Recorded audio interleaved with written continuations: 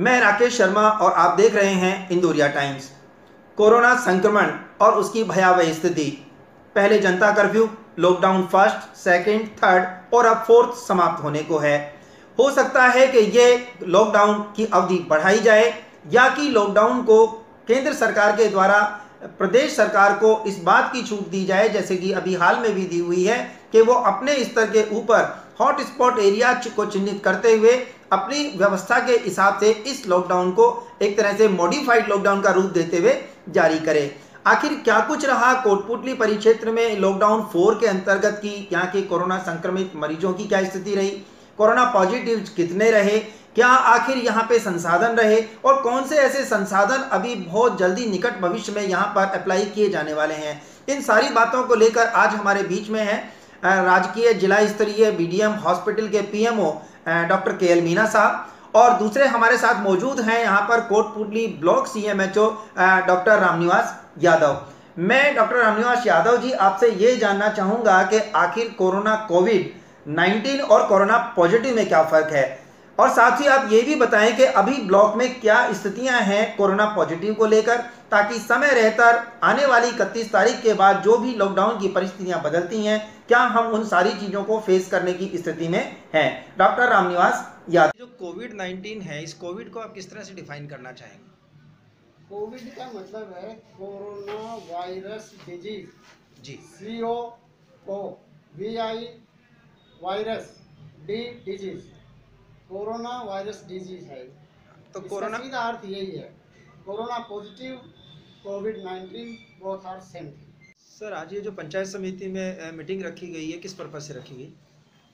इसका main purpose तो कई है जो जल पानी की समस्या बिजली की समस्या मौसमी बीमारियों की समस्या और स्पेशली कोरोना के बारे में इसके रोकथाम के बारे में कैसे क्या करना है इस संबंध में। कोरोना के रिगार्डिंग क्या रहा हेल्थ को लेकर? कोरोना में तो हमारे ब्लॉक और पुतली में आठ केस पॉजिटिव निकले यहाँ पे। और 111 केसेस की हमने जो बाहर से प्रवासी आ रहे हैं, उनकी रैंडम सैंपलिंग की है।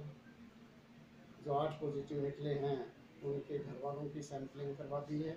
वो सब निगेटिव आ गई है, सिर्फ़ कल जो भेजी है रैंडम सैंपलिंग, उसके रिपोर्ट बाकी है। अभी तक टोटल आठ केसेस सर, एक प्रॉब्लम मीडिया को ये आ रही है, जैसे हॉस्पिटल है, वो तो एक रेफरल यूनिट है, अपन माने नेशनल हाईवे आठ पर है, और कोटपुतली और इससे लगते हुए 16 किलोमीटर पे तहसील पावटा लगती है और 16 किलोमीटर पर ही बांसुर लग जाती है। तो यहाँ एक कंट्रोल रूम ऐसा स्थापित रिक्वायर्ड है कि जहाँ से ये सारी चीज़ों की हमें जानकारी मिले, विशेषकर कोटपुतली तहसील की तो अपडेट हो जाए। बड़ी भ्रामक स्थितियाँ होती हैं कि पावटा से मीडिया अलग ब्रेकिंग करवा रहा है कोटपुतली मीडिया अलग कर रहा है और आवाम कन्फ्यूज़ होकर फिर बेवजह क्वेश्चनिंग में कन्वर्ट हो रही है। तो इसका क्या समाधान आपको इसका समाधान ये है कि कोटपुतली बीडीएम हॉस्पिटल से जो केसेस निकलते हैं उनको आप किसी तहसील या किसी जगह विशेष से नहीं जोड़ें। वहाँ कहीं के भी केस निकल सकते हैं उनकी अलग से डिटेल लेके आपको उस तहसील में तहसील वाले लेके उसमें जोड़ना पड़ेगा। क्योंकि बीडीएम में कोई केस है हो सकता है वो हरियाणा से भी आ जाए। तो इनको आप ये नहीं समझें कि बीडीएम में निकलने वाले सारे केस कोटपुतली के ही हैं। जी। इसका समाधान यही है। और कोटपुतली जो पंचायत समिति एरिया है उसकी report D C M Kotputli से ले। तहसील की रिपोर्ट लेने के लिए आपको चूँकि तहसील के कुछ पार्ट्स जो है दूसरी पावटा वगैरह में भी शामिल हैं तो आपको उनसे लेना पड़ेगा। एक कंट्रोल रूम स्थापित किया जाना ये संभव नहीं देश स्तर पे पहले कोरोना को लेकर के काफ़ी सारे बुलेटिन यानी चार पाँच बुलेटिन पहले प्रसारित होते थे। और कल की अपडेट ये है कि अब केवल दो ही टाइम फिक्स किए गए हैं साढ़े दस बजे और शाम को साढ़े आठ बजे। लेकिन उसमें अपडेट पूरी आ जाती है। तो क्या इस तरह का कोटपुटली में संभव है कि मीडिया केवल एक ही जगह आपको टच करे और जानकारी पूरी मिल जाए? हाँ पंचायत समिति कोटपुतली की तो ऑफ़िस से मिल ही सकती है जब भी आप चाहें। कोई टाइम ऐसा फिक्स यदि आठ बार लेना आप। कोई ज़रूरत कोई दिक्कत नहीं। एक अपडेट ले लें अपन शाम ही का जैसे एक बार देने के लिए फिक्स टाइम इसलिए नहीं कर सकते कि हमें कभी भी फ़ील्ड में जाना पड़ सकता है किसी भी काम से जाना पड़ सकता है। इसलिए आपका पर्पज सॉल्व नहीं हो सकता कि एक फिक्स टाइम हम कर दे पाएँगे इसका। क्योंकि पूरी जानकारी मेडिकल ऑफिसर के अलावा और कोई कर्मचारी दे नहीं सकता। इसलिए ये है कि आप जब भी पाँच बजे के आसपास रोज़ बी सी एम से ले लिया करें उसमें कोई इकतीस तारीख को लॉकडाउन फोर समाप्त हो रहा है और कोटपुतली की समीक्षा की यदि बात करें यदि इसको रिव्यू बैठक भी कहें मन तो तो आपको क्या लगता है कि आवश्यकता है? स्थिति को संतोषजनक कह सकते तो तो प्रवासी मजदूर आ रहे हैं तो है तो है यानी खतरा अभी टला नहीं है सावधानी ज़रूरी। जी नहीं खतरा टला बिल्कुल नहीं है। बाकी और जगहों को देखते हुए हम इस पर संतोष ज़ाहिर कर सकते हैं।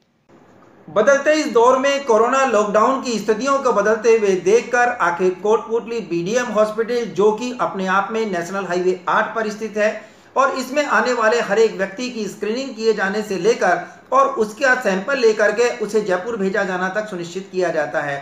यानी एक ऐसा हॉस्पिटल है जयपुर ज़िले का, जहाँ हर एक व्यक्ति आने के लिए स्वतंत्र है, किन संसाधनों की और ज़्यादा आवश्यकताएँ हैं, और स्थानीय विधायक और राज्य मंत्री या ऐसे कौन से भामाशाह हैं, जो कि बीडीएम हॉस्पिटल को कुछ सहयोग प्रदान करने वाले हैं। इन तमाम अपडेट जानकारी के हिसाब से आज हमारे बीच मौजूद हैं डॉक्टर के मीना जी। मैं डॉक्टर साहब आपसे ये जानना चाहूँगा कि आज जैसा कि हाल ही में आज स्थानीय विधायक राज्य मंत्री राजेंद्र सिंह जी यादव ने ब्लॉक स्तरीय अधिकारियों की एक रिव्यू बैठक ली है।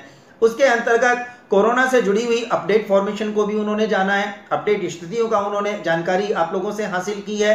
तो वहीं उन्होंने मौसमी बीमारियों सहित ऐसे बहुत सारे विषयों पर चर्चा की है ताकि आने वाले समय में वो संसाधन इकट्ठे कर सकें और आम जन की ज़िंदगी को बेहतर बना सकें। बहरहाल मीडियम को लेकर के कौन सी ऐसी जानकारी आप पब्लिक से शेयर करना चाहेंगे, जिससे कि उन्हें बिना पैनिक हुए आने वाले समय में कोरोना के साथ रहते हुए भी अपने आप को सुरक्षित महसूस कराया जा सके। मंत्री जी की जो मीटिंग है, रिव्यू बैठक है, जिसमें बहुत सारे मुद्दे इसमें शामिल रहे और स्पेशली फोकस जो रहा वो कोरोना को लेकर और हेल्थ डिपार्टमेंट को लेकर।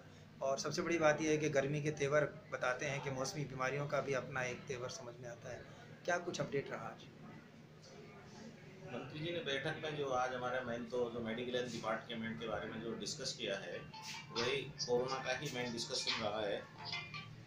कोरोना का ही मेन डिस्कशन रहा है और कोरोना के बारे में कि आगे आने वाले टाइम में और केसेस बढ़ेंगे हैं उनको किस तरह से अपन तैयारी करें और अ, उसके लिए अपन क्या क्या कर सकते हैं।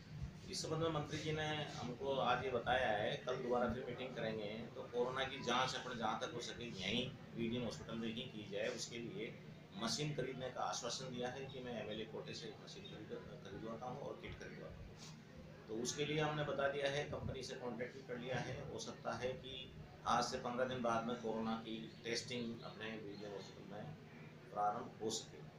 दूसरी बात हमने ये बताई है कि बीडीएम हॉस्पिटल के ऊपर ओपीडी का और मरीजों का भार कम करने के लिए फ़ील्ड के अंदर हमारे यहाँ दो सीएससी बनी हुई है नारेड़ा है, एक बनेटी, नई सेंक्शन आई है।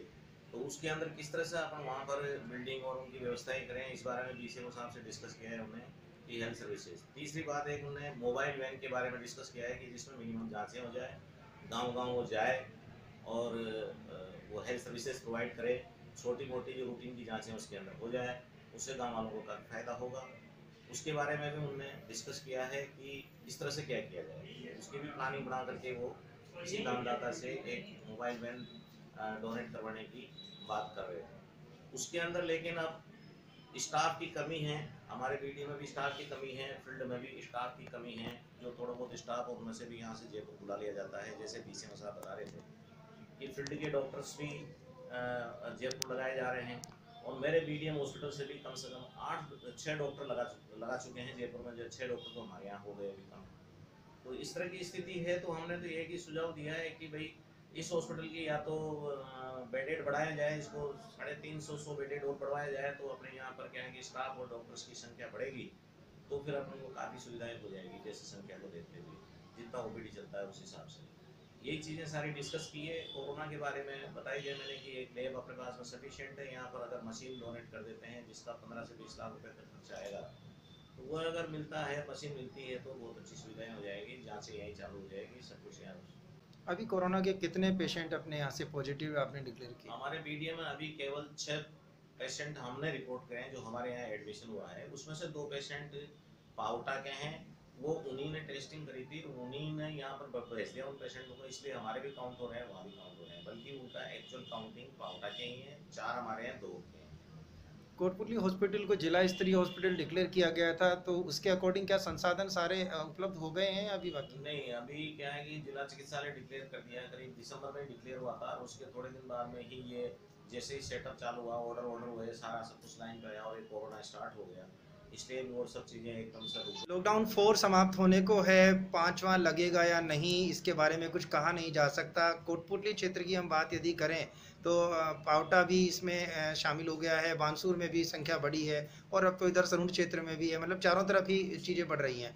आप क्या मैसेज करना चाहेंगे? क्या संभावनाएँ तलाशते हैं? देखिए जो संख्या बढ़ रही है जो पॉजिटिव केसेस बढ़ रहे हैं फ़ील्ड के अंदर उसका एक ही रीजन है कि सारे जितने भी माइग्रेंट वर्कर्स हैं जो लेबर बाहर से आई है ये उनकी वजह से स्प्रेड हुआ है मेन जो उन्हीं की वजह से पॉजिटिव केसेस की संख्या बढ़ रही है। इसलिए इनको कंट्रोल करने के लिए प्रशासन और चिकित्सा विभाग को मुस्तैद रहना पड़ेगा पब्लिक को भी सावधान रहना पड़ेगा। अगर ऐसे पेशेंट आते हैं अपने एरिया में, अपने घरों के आसपास, उनकी सूचना दो।